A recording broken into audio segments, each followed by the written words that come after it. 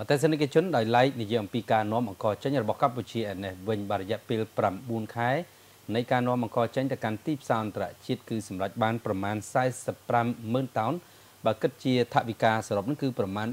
320លានដុល្លារសហរដ្ឋអាមេរិកហើយក្នុងនោះក៏យើងឃើញថាស្រូវក៏មានការនាំចេញទៅកាន់ប្រទេសជិតខាងក៏មានការកើនឡើងគួរឲ្យកត់សម្គាល់ តាមរបាយការណ៍របស់សហព័ន្ធស្រូវអង្ករកម្ពុជាបានឲ្យដឹងថានៅក្នុងរយៈពេល9ខែឆ្នាំ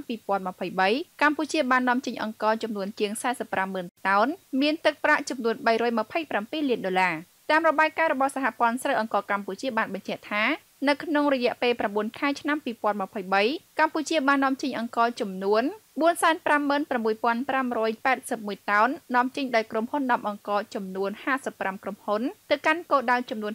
57ដែលគិតជាទឹកប្រាក់បានចំនួន 327.47លានដុល្លារអាមេរិកតាមរបាយការណ៍បានបញ្ជាក់ថានៅក្នុងនោះបាននាំចេញអង្ករទៅកាន់ប្រទេសនិងតំបន់ដូចជានាំចេញទៅកាន់ប្រទេសចិននិងហុងកុងចំនួន155,366តោនគិតជាទឹកប្រាក់បានចំនួន99.65លានដុល្លារនាំចេញទៅកាន់ប្រទេសនៅទ្វីបអឺរ៉ុបចំនួន26ប្រទេសបានចំនួន197,788តោនគិតជាទឹកប្រាក់បានចំនួន138.98លានដុល្លារនាំចេញទៅកាន់ប្រទេសសមាជិកអាស៊ានចំនួន5ប្រទេសបានបរិមាណចំនួន45,306តោនគិតជាទឹកប្រាក់បានចំនួន31.32លានដុល្លារនាំចេញទៅកាន់គោលដៅប្រទេសផ្សេងៗនៅអាហ្វ្រិកមជ្ឈិមបូព៌ាចំនួន44ប្រទេសបានចំនួន66,000 331តោនគិតជាទឹកប្រាក់បានចំនួន57.49លានដុល្លារការនាំចេញនេះគឺមានប្រភេទអង្គរក្រអូបគ្រប់ប្រភេទចំនួន82កដកសញ្ញា43%អង្គរសចំនួន72កដកសញ្ញា26%អង្គរចំហុយ3កដកសញ្ញា33%អង្គរសរីរាង្គចំនួន1កដកសញ្ញា77%អង្គរសក្របខ្លីមានចំនួន0កដកសញ្ញា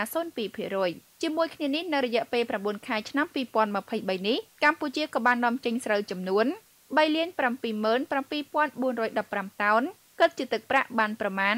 862.39លានដុល្លារដែលក្នុងនោះជាង59%បាននាំចេញដោយឆ្លងកាត់ការស្នើសុំការបញ្ជាឯកសារនាំចេញពីអាជ្ញាធរមានសមត្ថកិច្ចបតេសិនកិជនជាទីមេត្រីនៅវគ្គក្រោយយើងនឹងបន្តលម្អិតជូននៅព័ត៌មានសំខាន់សំខាន់ជាបន្តទៀតបាទពីកម្មវិធីអនុញ្ញាតសម្រាប់បន្តិចសិន